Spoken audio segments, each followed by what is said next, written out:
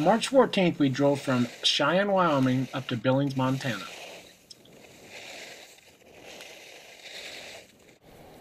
On the day we arrived in Billings, we went and found a good Greek restaurant to eat.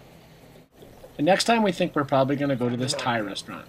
On Friday morning, we drove to Red Lodge.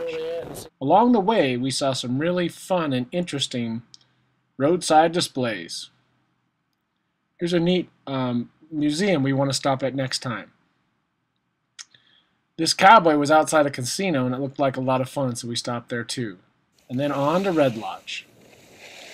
We stopped by the billboard, then drove up to the ski area. As we drove into the parking lot, this is what we saw.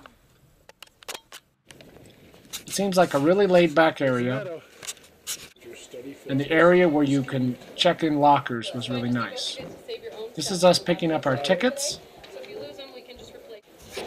studying the trail map, getting our skis, and walking up to the base lift.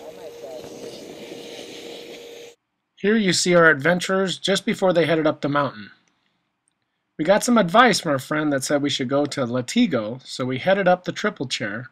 Here is us at the top of the triple chair. Then we went up Grizzly Peak.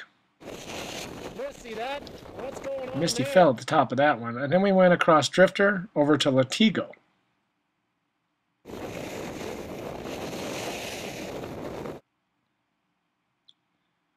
When we got to Latigo, even though it is a blue run, it had been groomed the night before and it was very hard and very icy, so we had a little trouble going down that. Then we went back across Side Saddle and left the Coal Creek area. There were many choices of runs, and we decided to head down to Miami Beach to check that out. I don't think it's something solar at all. At Miami Beach, we saw this neat magnetic mechanism for holding the students on the chairs, and it offered beautiful vistas of the Red Lodge area. We then went back up, and this is the top of Royals Run, which offers panoramic vistas. You see that? Let me take you on a ride down Royals. Oh, this is nothing. This is actually easier than that shit I did before.